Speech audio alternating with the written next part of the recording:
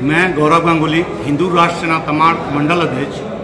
आप सबसे ये कहना चाहूँगा कि यहाँ पे प्राचीन कालीन सोलह भुजी माँ देवड़ी मंदिर, जो हमारी आस्था का केंद्र है, और तमाड़ विधानसभा में सबसे बड़ा मंदिर के नाम से विख्यात है। आप सबको बताना चाहूँगा कि यहाँ पे कुछ दबंग किस्म के लोग, जो सिर्फ़ अपनी रोटी सेकने के लिए, अपना पेट भरने के लिए, यहाँ पे सरना और हिंदू इस तरह का धर्म जाति का विश्लेषण कर रहे हैं। इन सबसे मैं यही कहना चाहूँगा कि ये सिर्फ़ अपना राजनीतिक रोटी सेकना चाहते हैं। यहाँ पे ताला बंद करने का कोई प्रावधान नहीं है।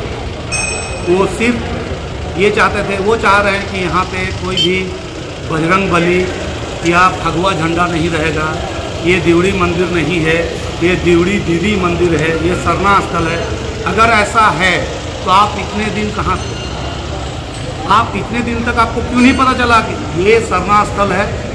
आज पूरे हिंदुओं की आस्था का यह स्थान है। और हम तो यही चाहेंगे कि यहाँ पे किसी प्रकार का पूजा अर्चना में विघ्न ना हो।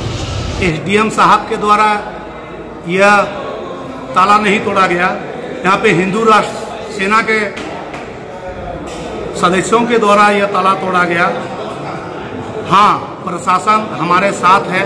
हम उनके शुक्रगुजार हैं प्रशासन हमारे साथ है।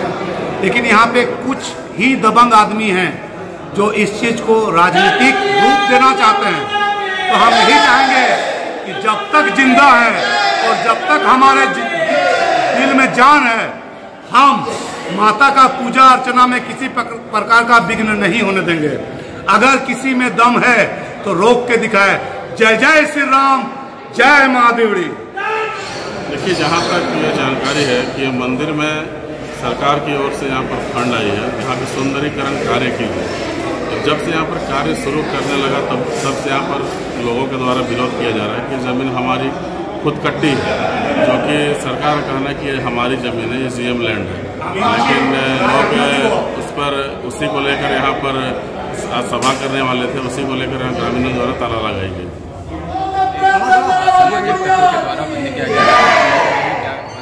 क्या कारण है? उस पर हम लोग यही करेंगे पहल करेंगे और मिलजुल कर बैठ करके क्या है।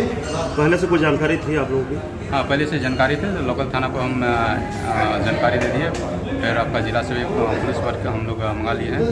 और इसके चलते हम लोग त्वरित कार्रवाई करके वहाँ के दरवाज़ा को हम लोग खोलने में सफल रहे जिन लोगों के द्वारा इस हरकत किया गया है? इस तरह की जो तालाबंदी की गई है मंदिर को बंद कर दिया गया है लगभग पाँच घंटे तक। कौन लोग चिन्हित हुए? कुछ सामाजिक तत्व हैं इस पर हम लोग थाना प्रभारी को लिखित दिए हुए हैं फिर उस पर आगे की कार्रवाई हो जाएगी और उस पर विधि सम्मत कार्रवाई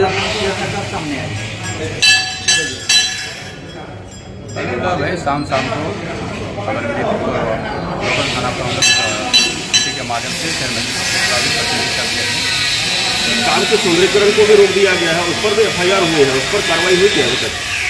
इस पर लोकल थाना से आपका अभी तक नहीं आया। एक सौ सात की कार्रवाई आपका हम लोग लोकल थाना से भी बोले हुए हैं, सीमित करके उस पर